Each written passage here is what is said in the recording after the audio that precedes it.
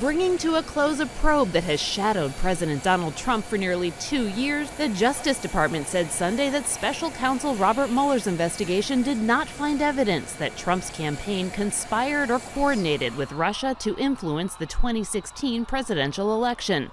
Mueller also investigated whether Trump obstructed justice but did not come to a definitive answer. In a four page letter to Congress summarizing Mueller's report, Attorney General William Barr said the report does not exonerate the president on obstruction and instead sets out evidence on both sides of the question. President Trump immediately claimed vindication. There was no collusion with Russia, there was no obstruction, and none whatsoever.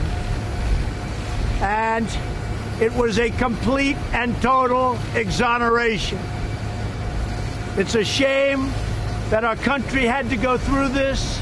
In reality, Mueller's investigation left open the question of whether Trump obstructed justice by firing FBI Director James Comey and drafting an incomplete explanation about his son's meeting with a Russian lawyer during the campaign.